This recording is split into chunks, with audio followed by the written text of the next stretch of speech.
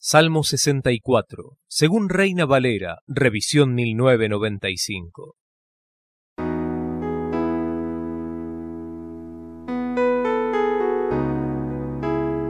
Escucha, Dios, la voz de mi queja.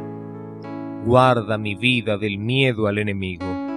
Escóndeme del plan secreto de los malignos, de la conspiración de los malvados, que afilan como espada su lengua, lanzan como una saeta suya la palabra amarga, para disparar a escondidas contra el íntegro.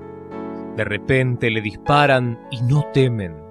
Obstinados en su perverso designio, tratan de esconder los lazos y dicen, ¿quién los ha de ver? Planean maldades y hacen una investigación exacta, el íntimo pensamiento de cada uno de ellos, así como su corazón es profundo. Pero Dios los herirá con saeta. De repente llegarán sus plagas, sus propias lenguas los harán caer.